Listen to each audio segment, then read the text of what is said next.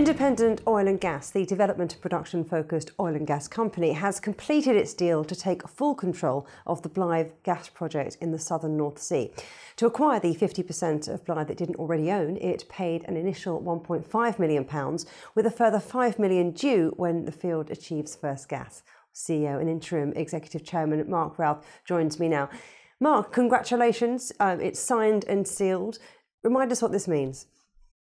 Yes, well, uh, it, it, what it means is we're delivering on the strategy we've laid out. We announced this acquisition on the 19th of April for initial 1.5 million pounds and a future payment of actually 5 million dollars, in US dollars, um, at the first gas uh, uh, of Blythe. So it, it, it's important to us because it's adding um, 3 million barrels of oil equi- equivalent of proven reserves to our portfolio and once the um, now this is complete, the combined uh, proven um, 2P and the contingent 2C resources of the company has now risen to over 40 million barrels of oil equivalent. Ah, so I was going to ask you next. Well, what's changed in, between April and now? So what you're saying is that there's more potential than you even thought. Well, no, it's it's the potential we knew was there. I mean, the, the proven uh, number we had on Blythe was three million BOE net. Uh, that has now risen to 6.1 um, because we now have the 100% of the Blythe asset. Um, together with our contingent resources on Skipper, um, that me- means our combined portfolio is over 40 million barrels of oil equivalent of 2C and 2P uh, resources. Um, what's important is we're building on that together with our other um, discoveries in the in the Blythe area, which is a further 8.6 million BOE. So that takes us um, just under 50 million BOE. If you add the Vulcan satellites, which we have announced um, last week, um, that's a further 50. So we are now becoming a hundred and more than a 100 million BOE company our size is quite extraordinary. And for someone your size sounds quite expensive. How much is it likely to cost? Well, the cost of the of the developments um, will, of course, uh, will, will, need to be paid for. Now, the we're looking at uh, various funding mechanisms for, for doing that, and we're well advanced with talking with our funders about how to fund the developments.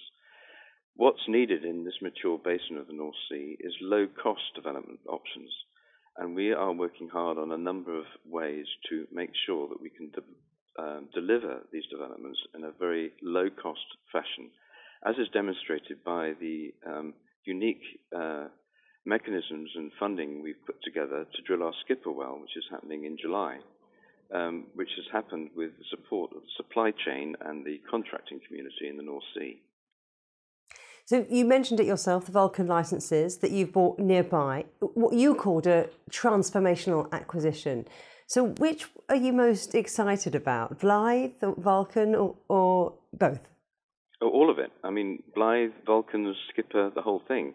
We're doing we're doing all these things which we set out to do when we started the company um, five years ago. So we're actually delivering on on our strategy.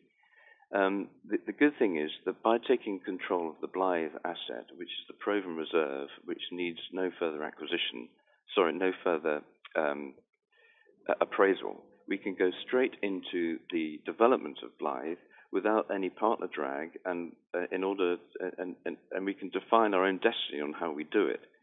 So what's important to us, this this is the catalyst which allows us to move forward on a proven, proven development plan so the team is now uh, getting ready to prepare the field development plan to submit to the government, together with all of the um, uh, regulatory processes that we have to kick off in order to get that development um, kicked off.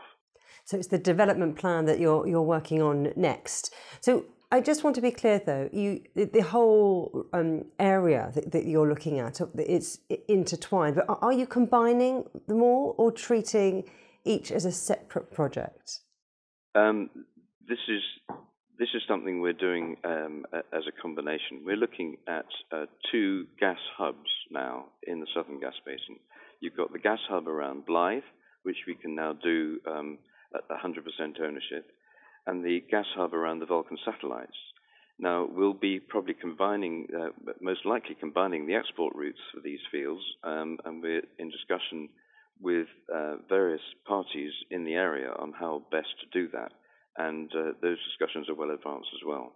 So you mentioned, Skipper, July is the, the date for everyone's diaries. What else should investors be looking out for in coming months? Well, we're working on a number of um, number of opportunities uh, because we are demonstrably successful in, in, acquiring assets in the North Sea at the moment. We've had a number of people approach us to look at some other opportunities. So we are looking at a, number of things. The team is very busy, um, but uh, we're demonstrating that we can actually uh, create value in the North Sea.